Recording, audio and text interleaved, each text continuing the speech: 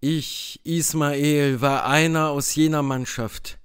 Meine Schreie waren in denen der übrigen aufgegangen, mein Schwur war mit dem ihren verschweißt worden,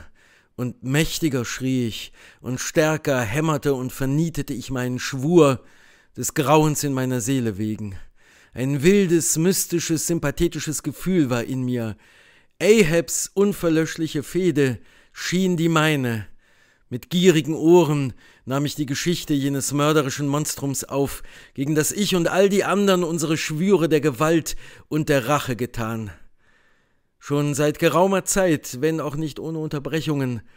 hatte der einzelgängerische einsame Wal jene barbarischen Meere heimgesucht, die am meisten von den Pottwalfängern aufgesucht werden. Aber sie wussten nicht alle um seine Existenz. Nur wenige, vergleichsweise, hatten ihn bewusst gesehen, wohingegen die Zahl derer, die ihm tatsächlich und bewusst schon einen Kampf geliefert,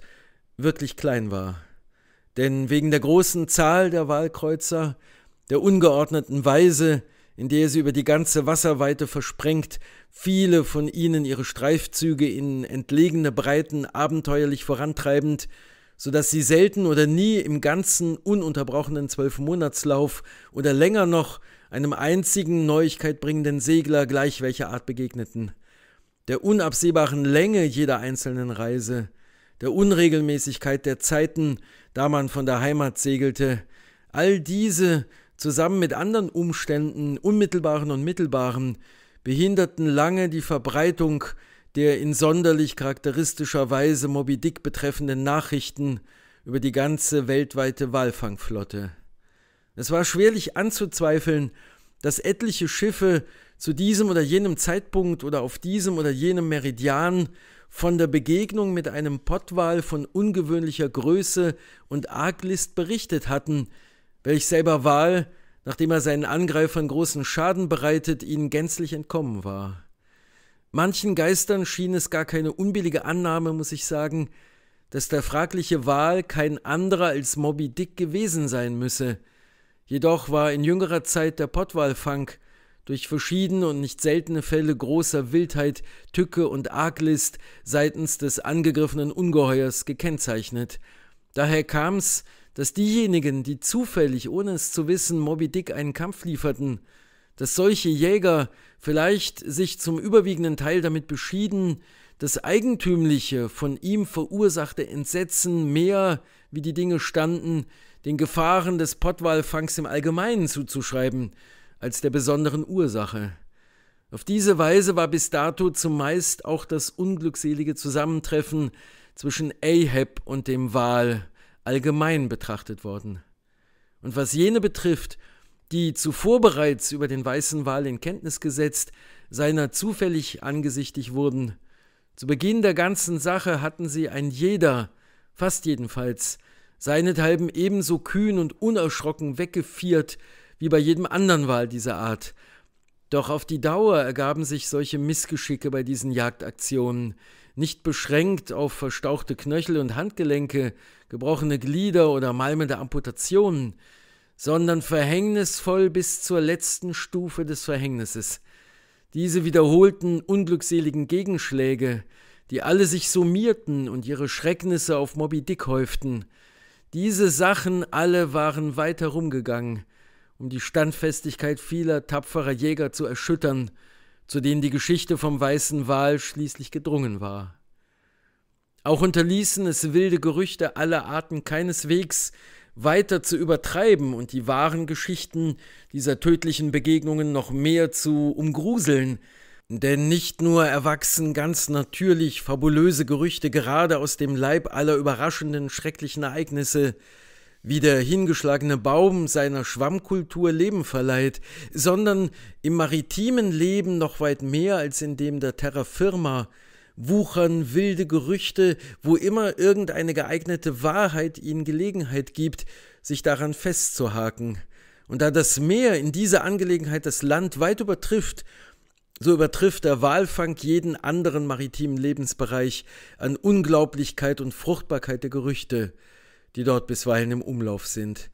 Denn nicht nur sind die Walfänger in ihrer Gesamtheit unausgenommen von jener Unwissenheit und Abergläubigkeit, die allen Seeleuten erblich ist, sondern von allen Seeleuten werden sie bei weitem am direktesten in Kontakt mit allem gebracht, was am Meer so erschreckend ungewöhnlich ist.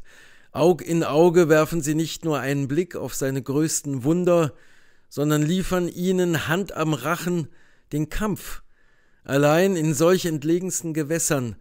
dass selbst wenn man tausend Meilen segelte und tausend Strände passierte, man doch unter jenem Teil der Sonne nicht an einen einzigen heimeligen Herd käme oder irgendetwas Gastliches. Unter solchen Breiten und Längengraden und auch einem solchen Geschäft verschrieben, wie er es ist, wird der Walfänger von Einflüsterungen umgarnt, welche sämtlich dazu geneigt sind, seine Einbildungskraft mit manch mächtiger Leibesfrucht zu schwängern. Kein Wunder also, dass unablässig an Umfang gewinnend, allein durch das Weiterreichen über ausgedehnteste Wasserräume, die hinausposaunten Gerüchte vom weißen Wal, schließlich alle Arten krankhafter Anspielungen und halb ausgebildete fötale Mutmaßungen über übernatürliche Kräfte in sich einbeschlossen, die Moby Dick am Ende mit neuen Schrecknissen entliehen von keinem für das Auge existenten Ding, versahen, so dass er in zahlreichen Fällen schließlich eine solche Panik verursachte, dass wenige, welche zumindest durch diese Gerüchte vom weißen Wal gehört, wenige dieser Jäger willens waren, den Gefahren seines Rachens entgegenzutreten. Doch da waren noch andere und vitalere praktische Einflüsse am Werk, nicht einmal heutzutage ist der ursprüngliche Ruf des Pottwals, er zeichne sich aufs fürchterliche vor allen anderen Spielarten des Leviathans aus, in den Köpfen der Walfänger im Allgemeinen ganz ausgestorben. Unter ihnen gibt es heute noch solche, welche, obschon gescheit und beherzt genug, um dem Grönland oder Glattwal den Kampf anzutragen, vielleicht entweder aus beruflicher Unerfahrenheit oder Unfähigkeit oder Ängstlichkeit ein Kräftemessen mit dem Pottwal ausschlagen. Wie auch immer, es gibt eine Menge Walfänger, insonderheit in jenen unter anderem als der amerikanischen Flagge segelnden Walfangnationen, welche nie dem Pottwal feindselig begegnet sind, sondern deren alleinige Kenntnis des Leviathans sich auf das unwürdige Monstrum beschränkt, so im Norden plump gejagt wird. Auf ihren Luken sitzend, werden sie den wilden, fremdartigen Geschichten vom südlichen Walfang mit kindisch stubenhockerischer Gespanntheit und Ehrfurcht lauschen. Ebenso wenig wird die hervorbrechende Ungeheuerlichkeit des großen Pottwals irgendwo mit größerer Einfühlung begriffen, als an Bord eines Buges, welcher auf ihn zuhält. Und als hätte die nun erprobte Realität seiner Urgewalt schon in früheren sagenhaften Zeiten ihren Schatten vorausgeworfen, so stellen wir fest, dass einige Buchzoologen, Olafsen und Povelsen, dem Pottwald zuschreiben, nicht nur eine Schreckgestalt für jede andere Meereskreatur zu sein, sondern auch so unglaublich grausig, dass es ihn unablässig nach menschlichem Blute dürste. Nicht einmal bis herab in eine so nahe Epoche wie diejenige Cuviers würden solche oder beinahe gleichwertige Auffassungen ausgerottet. In seiner Naturgeschichte nämlich bestätigt der Baron höchstpersönlich, dass bei Ansichtigwerden des Pottwals alle Fische, Haie eingeschlossen, mit den lebhaftesten Schrecken geschlagen sind und sich oftmals im Ungestüm ihrer Flucht mit solcher Gewalt gegen die Felsen stürzen, dass ihr sofortiger Tod bewirkt wird. Und trotzdem die allgemeine Erfahrung in der Fischerei solche Berichte wie diese wohl Lügen zu strafen vermag, Ungeachtet dessen wird die abergläubische Überzeugtheit von ihrer ganzen Furchtbarkeit sogar bis hin zu dem blutdurstigen Punkt bei Povelsen während mancher Wechselfälle ihres Gewerbes in den Köpfen der Jäger wiederbelebt. So dass, eingeschüchtert von den ihn betreffenden Gerüchten und Vorzeichen, nicht wenige Fischer sich im Zusammenhang mit Moby Dick der frühen Tage des Pottwalfangs entsannen als es oftmals schwer fiel, erfahrene Glattwalfänger dazu zu bewegen, sich in die Abenteuer dieses neuen und wagnisreichen Kriegshandwerks einzuschiffen, wobei solche Männer protestierten, dass obschon andere Leviathane erfolgsversprechend gejagt werden mochten, doch die Verfolgung und Besperrung einer solchen Erscheinung wie des Pottwals dem sterblichen Manne nicht gegeben sei, dass es zu versuchen unweigerlich hieße, augenblicklich in die Ewigkeit befördert zu werden. Zu diesem Streitpunkt liegen einige bemerkenswerte Dokumente vor, die konsultiert werden könnten. Nichtsdestotrotz gab es da manche, welche sogar unter Ansehen dieser Dinge bereit waren, Moby Dick eine Jagd zu liefern, und eine sogar größere Zahl derer, welche nur zufällig fernen und vagen Nachrichten über ihn ausgesetzt, ohne die genauen Einzelheiten irgendeines bestimmten Unglücksfalls und ohne abergläubische Zutaten hinlänglich verwegen waren, nicht vor dem Kampfe zu fliehen, wo er sich bot. Eine der bereits angedeuteten Einflüsterungen, wie sie zu guter Letzt in den Köpfen der abergläubisch Veranlagten in Verbindung mit dem weißen Wal auftraten, war die übernatürliche Einbildung, dass Moby Dick allgegenwärtig sei, dass er tatsächlich zu ein und demselben Zeitpunkt in gegensätzlichen Breiten angetroffen worden sei. Ebenso wenig war, so leichtgläubig solche Geister auch gewesen sein müssen, diese Einbildung gänzlich frei von einem schwachen Anschein abergläubischer Wahrscheinlichkeit. Denn wie die Geheimnisse der Strömungen in den Meeren sich noch niemals enthüllt haben, noch nicht einmal den gelehrsamsten Forschungen, so bleiben die verborgenen Wege des unter der Oberfläche befindlichen Pottwals seinen Verfolgern großenteils unerklärlich und haben von Zeit zu Zeit die wunderlichsten und widersprüchlichsten Spekulationen darüber hervorgebracht, insonderheit die mysteriösen Methoden betreffend, mit welchen er nach dem Abtauchen in größte Tiefen sich in solch unermesslicher Schnelligkeit an die allerweitest entfernten Stellen befördert. Es ist eine sowohl amerikanischen als auch englischen Walfangschiffen gleichermaßen bekannte Tatsache und auch eine vor Jahren von Scoresby maßgeblich zu Protokoll gebrachte Tatsache, dass weit im Norden des Pazifik einige Wale erbeutet wurden, in deren Körpern die Widerhaken von in den grönländischen Gewässern abgefeuerten Harpunen gefunden wurden. Ebenso wenig kann bestritten werden, dass in manchen dieser Fälle erklärt worden ist, dass der zeitliche Abstand zwischen den beiden Angriffen nicht sehr viele Tage überschritten haben kann. Folglich schlussfolgernd ist von einigen Walfängern angenommen worden, dass die Nordwestpassage, welche dem Menschen so lange ein Problem, dem Wal nie ein Problem gewesen sei, so dass hier in der realen Lebenserfahrung lebender Männer die Wunder, die man sich in alten Zeiten vom binnenländischen Berg Strella in Portugal erzählte, unweit von dessen Gipfel ein See gewesen sein soll, in welchem die Wracks von Schiffen zur Oberfläche emportrieben, und jene sogar noch wundersamere Geschichte vom Quell Aretusa bei Syrakus, dessen Wasser, wie man glaubte, über eine unterirdische Verbindung aus dem heiligen Lande kam, diese fabulösen Erzählungen von der Wirklichkeit des Walfängers fast völlig eingeholt wurden. In eine Vertrautheit also mit solchen Wundern wie diesen gezwungen